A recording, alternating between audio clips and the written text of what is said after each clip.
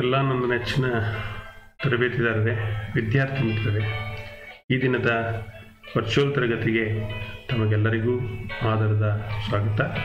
Dear trainees welcomes you all for today virtual classes ವಿದ್ಯಾರ್ಥಿ ಮಿತ್ರರೇ ಈ ಹಿಂದಿನ ತರಗತಿಯಲ್ಲಿ ನಾನು fitter second year most important multiple choice questions for upcoming all India trade test C B T ಎಕ್ಸಾಮಿನೇಷನ್ಗೆ ಸಂಬಂಧಪಟ್ಟ ಹಾಗೆ discuss ಮಾಡ್ತಾ ಇದ್ವಿ. So today that is the last class ಯಾಕಂದರೆ ನೀವು ನಾಳೆಯಿಂದ ಎಕ್ಸಾಮ್ಗೆ ಹೋಗ್ತಾ ಇದ್ದೀರಿ. ಸೊ ಲಾಸ್ಟ್ ಕ್ಲಾಸ್ ಸೊ ಎಲ್ಲರೂ ಈ ಒಂದು ಏನು ಹತ್ತು ತರಗತಿಯನ್ನು ನಾನು ಮಾಡಿದ್ದೀನಿ, ಈ ಮಲ್ಟಿಪಲ್ ಚಾಯ್ಸ್ ಕ್ವಶನ್ಸ್ಗೆ ಸಂಬಂಧಪಟ್ಟಾಗಿ ಇವತ್ತು ಸೇರಿದಾಗೆ ಎಲ್ಲ ಅಭ್ಯಾಸ ಮಾಡಿ, ಚೆನ್ನಾಗಿ ಓದಿ.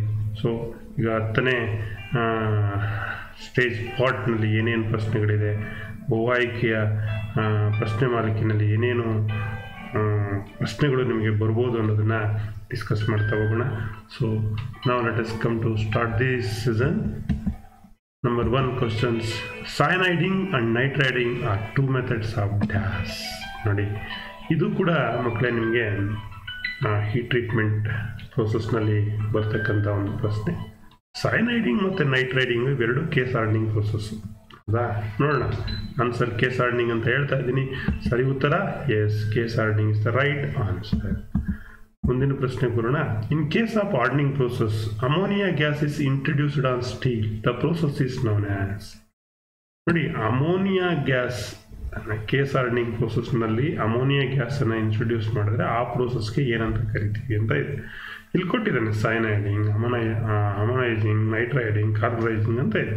ಅಮೋನಿಯಾ ಗ್ಯಾಸನ್ನು ಇಂಟ್ರಡ್ಯೂಸ್ ಮಾಡಿ ನಾವು ಕೇಸ್ ಹಾರ್ಡ್ನಿಂಗ್ ಅನ್ನು ಮಾಡ್ತೀವಲ್ಲ, ಆ ಒಂದು ಪ್ರೋಸೆಸ್ಸನ್ನು ನಾವು ನೈಟ್ ರೈಡಿಂಗ್ ಅಂತ ಕರಿತೀವಿ. ಏನಂತ ಕರಿತೀವಿ? Nitriding so which is correct C is the correct answer ಮುಂದಿನ ಪ್ರಶ್ನೆಗೆ ಬನ್ನಿ. Temperature at which the lubricant catches fire so temperature at which the lubricant catches fire ಇದು ಏನು property of the property of oil lubricant so this is fire point ಅಂತ ಕೇಳ್ತೀವಿ. As usual catches fire ಅಂದರೆ fire point ಸರಿ ಉತ್ತರ ಯಾವುದು? ನೋಡೋಣ. Yes is the right answer fire point ನಾಲ್ಕನೇ ಪ್ರಶ್ನೆಗೆ ಬಂದ್ಬಿಡೋಣ. The pipe which has a small diameter and less wall thickness ಪೈಪ್ನಲ್ಲೇ ಅನೇಕ ಪೈಪ್ ಇದೆ ಮಕ್ಕಳೇ ಅದು ಆಯಿಲ್ ಪೈಪ್ ಇಲ್ಲಿ ಕೊಟ್ಟಿದ್ದಾನೆ. Conduit pipe water pipe gas pipe ಯಾವುದು ಹೇಳಿ ಅಂತ ಇರ್ತಾರೆ small diameter less wall thickness ಇದ್ದರೆ ಅದನ್ನು ಕಂಡ್ಯೂಟ್ ಪೈಪ್ ಅಂತ ನಾವು ಕರಿತೀವಿ. So that is right answer is B check ಮಾಡೋಣ. ಎಸ್ ರೈಟ್ ಆನ್ಸರ್ ಈಸ್ ಐದನೇ ಪ್ರಶ್ನೆಗೆ ಬರೋಣ. ಮತ್ತು ಇಲ್ಲಿ ಪ್ಲಕ್ಸ್ ಇಂದಿನ ತರಗತಿಯಲ್ಲಿ ನಿಮಗೆ ಕೇಳಿದರು. Which flux are used while soldering G I sheets galvanised iron ಸೀಡ್ಸನ್ನು soldering ಮಾಡುವಾಗ ಯಾವ ಪ್ಲಕ್ಸನ್ನು ಅಂದರೆ it is a non metallic substance flux ಅದು ಫ್ಲೋ ಸರಿಯಾಗಿ ಆಗಬೇಕಲ್ಲ, ಹಾಗಾಗಿ ಸಾಲ್ಡ್ರಿಂಗ್ ಚೆನ್ನಾಗಿ ಆಗಬೇಕಲ್ಲ ಬಳಸ್ತೀವಿ. Hydrochloric acid H C L ಅಂತ ಕರಿತೀವಿ. So the right answer is H C L ನೋಡೋಣ ಚೆಕ್ ಮಾಡೋಣ. Yes C is the correct answer ಮುಂದಿನ ಪ್ರಶ್ನೆಗೆ ಬರೋಣ. While dismantling a part dash is must ನೋಡಿ, ಯಾವುದೇ ಅಸೆಂಬ್ಲಿಯನ್ನು ಮಾಡುವಾಗ ಮತ್ತು ಡಿಸ್ಮೆಂಟಲನ್ನು ಮಾಡುವಾಗ, ನೀವು ಮೇಂಟೆನೆನ್ಸನ್ನು ಮಾಡುವಾಗ ಡಿಸ್ಮೆಂಟಲನ್ನು ಮಾಡ್ತೀರಿ. ಡಿಸ್ಮೆಂಟಲನ್ನು ಮಾಡುವಾಗ ಈ ಮಾರ್ಕ್ ಫಾರ್ ಐಡೆಂಟಿ ಇದೆಯಲ್ಲ ಐಡೆಂಟಿಟಿ ಮಾರ್ಕ್ ಮಾಡೋದು. ಯಾವುದನ್ನು ಮೊದಲು ಬಿಸ್ತಾ ಇದ್ದೀವಿ ಅಂತ ನೋಡ್ಕೊಳ್ತೀವಲ್ಲ. ಸೊ ಅದಕ್ಕೆ ಮಾರ್ಕ್ ಮಾಡೋದು ಅದೊಂದು ಇಂಪಾರ್ಟೆಂಟ್ ಪಾಯಿಂಟ್ ಅಲ್ಲಿಗೆ B is the correct answer ಅಂತ ನಾವು ಡಿಸೈಡ್ ಮಾಡಿದ್ದೀನಿ. ಚೆಕ್ ಮಾಡೋಣ. While dismantling for dash is must mark for identity so B is the right answer good what is the name of filler material in brazing brazing ಮಾಡುವಾಗ ಯಾವ pillar ಮೆಟೀರಿಯಲ್ನ use ಮಾಡ್ತೀವಿ? ಸಾಮಾನ್ಯವಾಗಿ ಬ್ರೇಜಿಂಗ್ ಮಾಡುವಾಗ ನಾವು ಬ್ರಾಸನ್ನು ಮಾಡ್ತೀವಿ. Brass is made out of copper and zinc ಅಂತ ಕರಿತೀವಿ. ಹಾಗಾಗಿ ಅದು ಬೇಸ್ ಬೇಸ್ ಮೆಟಲ್ಲೇ ಆಗುತ್ತೆ. So right answer is base metal ನೋಡೋಣ ಚೆಕ್ ಮಾಡೋಣ. C is the right answer C is the right answer base metal ಮುಂದಿನ ಪ್ರಶ್ನೆ. As compare to ferrous metal non ferrous metal ferrous ಮೆಟಲ್ಗೆ compare ಮಾಡಿದ್ರೆ non ferrous metal ಏನೋ easy available high cost and not rusted low cost and rusted it is two or ಸಾಮಾನ್ಯವಾಗಿ non ferrous metal ferrous ಮೆಟಲ್ಗೆ compare ಮಾಡಿದಾಗ cost ಜಾಸ್ತಿ ಇರುತ್ತೆ, ಮತ್ತೆ rust ಹಿಡಿಯಲ್ಲ.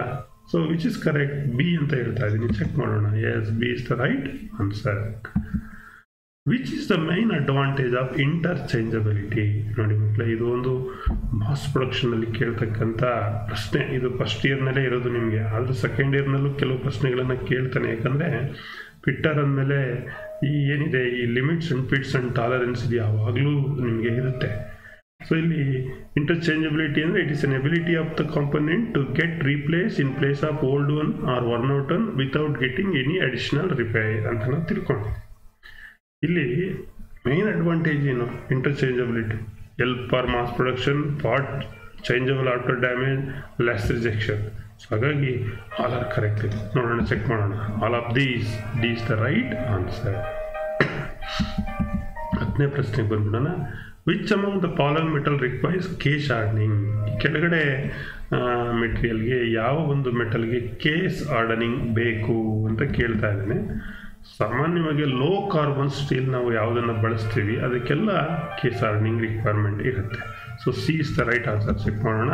Yes low carbon steel the included angle of pipe thread pipe ಅಂದೇಟ್ಗೆನೆ B S P British standard pipe thread ಅದು ಎಷ್ಟು degree ಇರ್ತದೆ? Fifty five degree ಇರುತ್ತೆ. ಹೌದಾ? ಇದೆಯಾ yes C is the right answer check ಮಾಡೋಣ. C is the right fifty five degree ಮುಂದಿನ ಪ್ರಶ್ನೆ. Metal of drill jig bushing used drill jig ಮಾಡಲಿಕ್ಕೆ ಆ ಮೆಟಲನ್ನು ಯೂಸ್ ಮಾಡ್ತಾನಲ್ಲ, ಅದು ಸಾಮಾನ್ಯವಾಗಿ it is made out of M S M S ಅಂದರೆ ಮೈಟ್ ಸ್ಟಿಲ್ ಚೆಕ್ ಮಾಡೋಣ. Yes A is the right answer which metals pipe is used for acid plant acid ಪ್ಲ್ಯಾಂಟ್ನಲ್ಲಿ ಯಾವ ಪೈಪನ್ನು ಬಳಸ್ತಾನೆ ಅಂದರೆ, ನಿಮಗೆ ಗೊತ್ತು, ಇಲ್ಲಿ ಲೆಡ್ ಆ್ಯಸಿಡ್ ಬ್ಯಾಟ್ರಿ ಈ ಥರ ಎಲ್ಲ ಹೆಸರು ಕೇಳಿರ್ತೀರಿ ಲೆಡ್ ಪೈಪನ್ನೇ ಬಳಸೋದು. ಸೊ ಆಸಿಡ್ ಪ್ಲಾಂಟ್ನಲ್ಲಿ ಲೆಡ್ ಪೈಪನ್ನು ಬಳಸ್ತಾರೆ. ಸೊ ಇದು ಆನ್ಸರು ಎಸ್ ಇದೆ D is the right answer led in which type of drive driver and driven pulley rotated in the same direction driver ಮತ್ತು ಡ್ರೈವನ್ನು ಒಂದೇ ಡೈರೆಕ್ಷನಲ್ಲಿ ರೊಟೇಟ್ ಆಗೋದು. ಇಲ್ಲಿ ಕೊಟ್ಟಿದ್ದಾನೆ open belt cross belt quarter drive right angle drive open belt ಡ್ರೈವಲ್ಲಿ ನೆನಪಲ್ಲಿ ಇಟ್ಕೊಳ್ಳಿ. So answer check ಮಾಡೋಣ. Yes A is the right answer open belt drive after hardening process the metal becomes more harden and also will become more ನೋಡಿ hardening process ಮಾಡಿದಾಗ metal ಜಾಸ್ತಿ ಹಾರ್ಡಾಗುತ್ತೆ ಯಾವಾಗ hard ಆಯಿತೋ ಅದ್ರ ಜೊತೆಗೆ ಬ್ರಿಟಲ್ ಕೂಡ ಆಗುತ್ತೆ. ಹೌದಾ? ಇದು ಆನ್ಸರು ಬ್ರಿಟಲ್ ಇದೆ.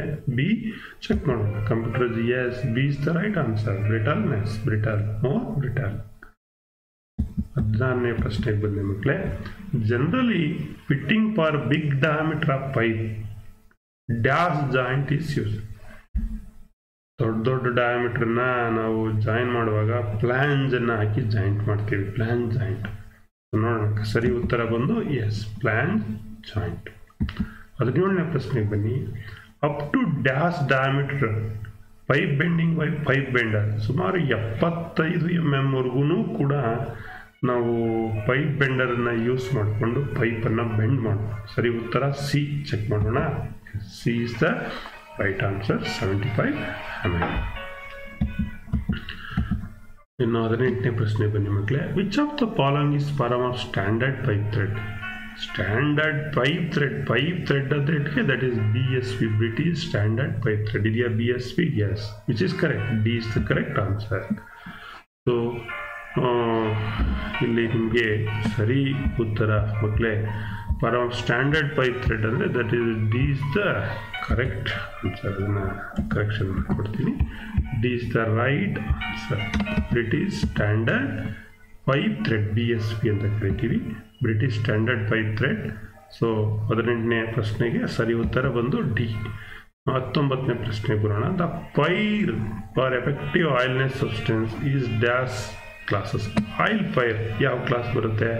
ಈಗ ಪೇಪರು ವುಡ್ಡು ಇದೆಲ್ಲ ಆದರೆ ಎ ಕ್ಲಾಸು ಆಯಿಲ್ ಫೈರ್ ಅಂತ ಅಂದರೆ that is it comes under which class B class fire liquid fire ಅಂತ ಕರಿತೀವಿ. ಬಿ ಕ್ಲಾಸ್ ಚೆಕ್ ಮಾಡೋಣ answer yes B is correct answer ಮುಂದಿನ ಪ್ರಶ್ನೆ ಬರೋಣ.